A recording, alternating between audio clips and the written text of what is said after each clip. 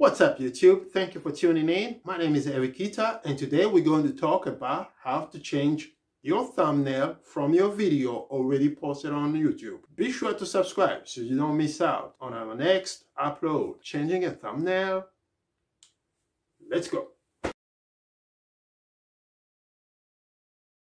Step 1. Make sure you have logged in into your YouTube account. If you haven't done it, here's how to do that. On your PC, you open up your favorite browser. Mine is Google Chrome, and you type in youtube.com. Enter.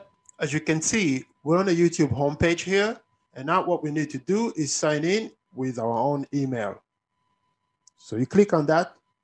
So now this is a signing page. All you need to do basically is put on your email address and your password. You follow two steps. Once you get that done, you click enter.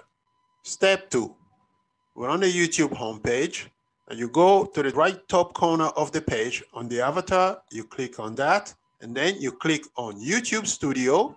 Now we're on the YouTube dashboard. On the YouTube dashboard page, you go onto the left menu, underneath dashboard, there is content. You click on content. Now you get a list of videos it depends which one you want to change the thumbnail from. In my case, I'm looking for one video. Let me find it. Okay, so this video here, it's called uh, how to access your playlist on YouTube. So I'm going to change the thumbnail here. What I have to do is click on the pencil here for details, which is to edit.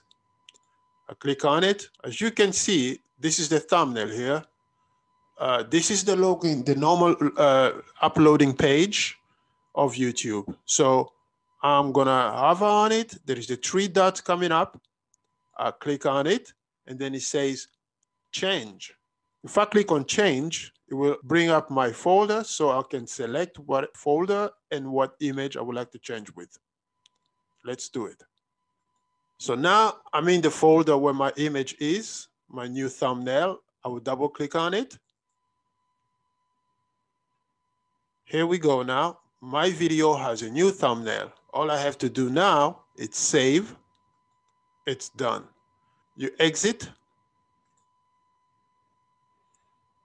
So back onto my page again, you can see that video. I'm wearing a shirt. So I'm going to refresh my page to see what happened. So refresh.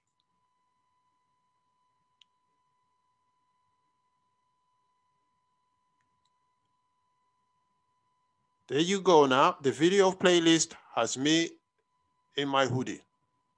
And this is how you change the existing thumbnail on your video. Thank you all for watching. Please leave a comment down below, like, subscribe, and press the notification bell so you don't miss out on our next uploads.